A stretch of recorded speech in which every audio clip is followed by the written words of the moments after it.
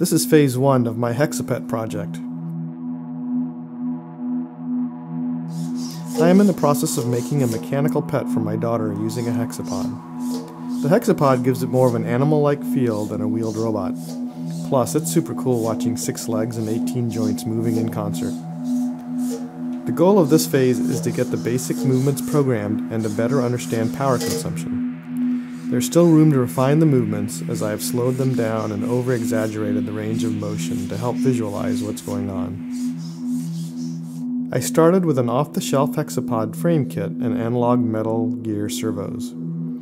I chose Windows 10 IoT Core on Raspberry Pi 2 because of its expandability. Some of the more advanced features that will be added in future phases of the project will require the power of Windows 10.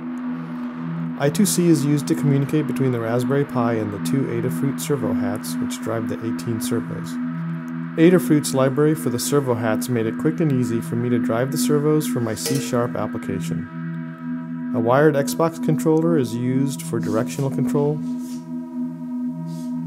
One large lithium polymer battery connected to a converter produces 6 volts to power the servos, a second, smaller LiPo battery connected to another 5 volt converter powers the Raspberry Pi and the servo hats.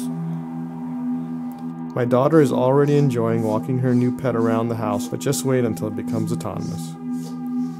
Go to windowsondevices.com to learn more about the power of Windows 10 IoT Core. Check out the build instructions for my Hexapet on Hackster.io and follow along as I continue to update the project. Build one and make it your own, I'd love to see what you make.